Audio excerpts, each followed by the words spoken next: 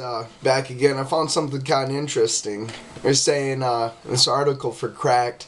They're saying people who almost screwed up the world. Well, this one's kind of positive. Uh, it was actually Albert Goering, brother of Hitler's right hand man. He was actually an anti-Nazi, which is funny. Like, so they'd send him you know these people these jewish people outside to like clean and then he'd see them and he'd go out there and he'd start helping them and then like a guard would recognize who he, who he was and just have everybody go inside.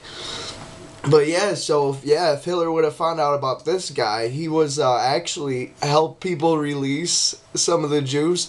The cars would break down he had like a whole system rigged out and everything and uh, I think one of his quotes from his brother, he says, "Brother, I don't have a brother. Is that even a real world, or even a real word?"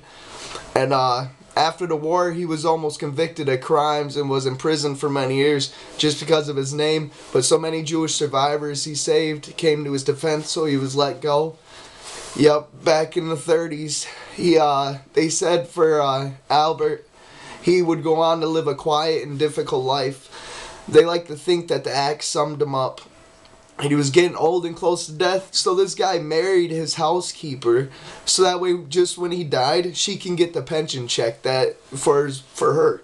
So he actually sounded like he wasn't too bad of a guy. He had a clean, clean head on his shoulders. But uh, getting a phone call, I'm gonna cut this one short right now. All right, take it easy.